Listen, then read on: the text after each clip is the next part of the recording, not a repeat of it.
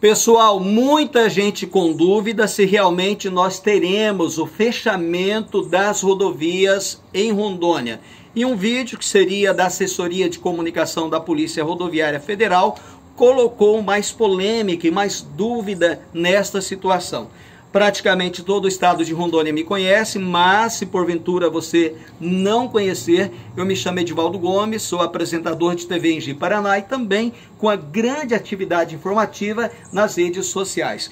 Olha, pelo decreto do governo de Rondônia, teremos sim o fechamento das rodovias, com algumas exceções caso de doentes, transporte de alimentos, água, combustíveis, esses casos especiais e essenciais. Eu tenho aqui o artigo 5 do decreto que é muito claro. O transporte intermunicipal, ou aqui fala ainda no plural, os transportes intermunicipais terão 48 horas para encerrar suas rotas entre os municípios enquadrados no anexo 1 são aquelas cidades afetadas por esse decreto. Já os transportes interestaduais, ou seja, de Rondônia para outros estados, terão 72 horas para encerrar sua ro suas rotas.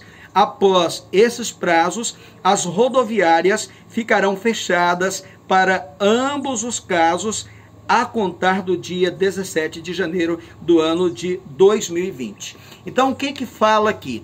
A partir do dia 17, que foi domingo, 48 horas depois que dá na terça-feira, fecha o transporte de pessoas de cidade para cidade.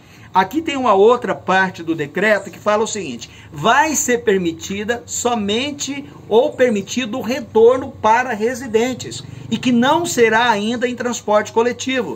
Então, nesta terça-feira, 48 horas após o decreto, você não poderá transitar de uma cidade para outra por transporte coletivo só se for residente retornando, e aí, como vai ter transporte coletivo, retornar no seu carro ou em um serviço de aplicativo ou táxi.